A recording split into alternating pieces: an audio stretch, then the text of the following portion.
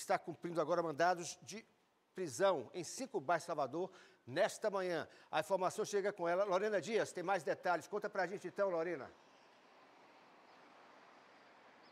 Isso mesmo, Casemiro. Essa operação é realizada em cinco bairros daqui de Salvador. Acontece nesse momento entre os bairros Engenho Velho de Brotas. Nesse momento, os policiais estão aí em um condomínio para poder cumprir esses mandados. Né? A operação Falta Grave ela tem o objetivo de cumprimento dos mandatos judiciais contra servidores da própria SEAP envolvidos com crimes de corrupção e associação criminosa. As equipes que estão nas ruas nesse momento também realizam buscas de armas, drogas e outros materiais ilícitos possivelmente utilizados aí pelos criminosos. Tanto policiais penais da Secretaria de Administração Penitenciária e Ressocialização, a SEAP, são mais de 50 policiais penais participam, além do Grupo Especial de Combate às Organizações Criminosas, Investigações Criminais, o GAECO, e o Grupo de Atuação Especial e Execução Penal do Ministério Público da Bahia. Eles estão participando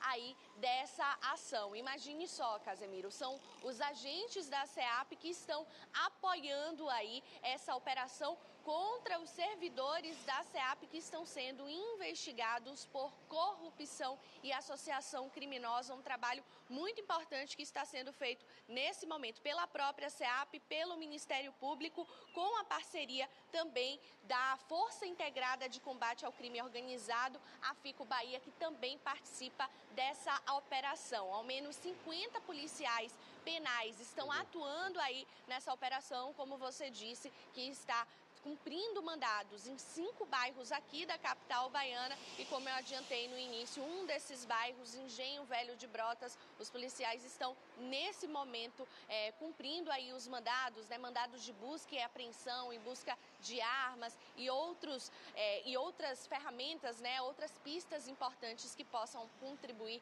nessa investigação aí de corrupção e associação criminosa de servidores da própria SEAP. A qualquer momento a gente volta com mais detalhes. Isso, daqui a pouco eu vou conversar com o próprio secretário de Segurança Pública do Estado da Bahia, Marcelo Verne, meu convidado de hoje para o quadro Café com Casé, e ele vai dar mais detalhes. Obrigado, viu, Lorena, sobre esta operação desenvolvida pela polícia junto com o Ministério Público.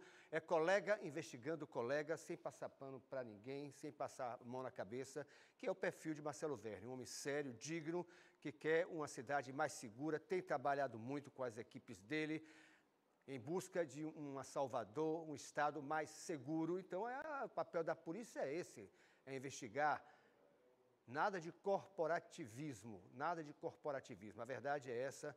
E daqui a pouco eu vou falar com o Marcelo Verne sobre o trabalho que está sendo feito para combater as facções criminosas, também sobre as críticas que muitas vezes a polícia recebe, falando que, como aconteceu recentemente né, com os dois rapazes que morreram Valéria, não é isso? É, é, Matheus e, e, e Werner, né? Werner, Werner, acho que é.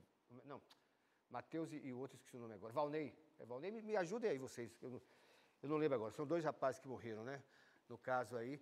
Então, daqui a pouco o Marcelo Werner vai detalhar tudo para a gente sobre essa operação e outros trabalhos que a polícia vem fazendo para combater a criminalidade na Bahia.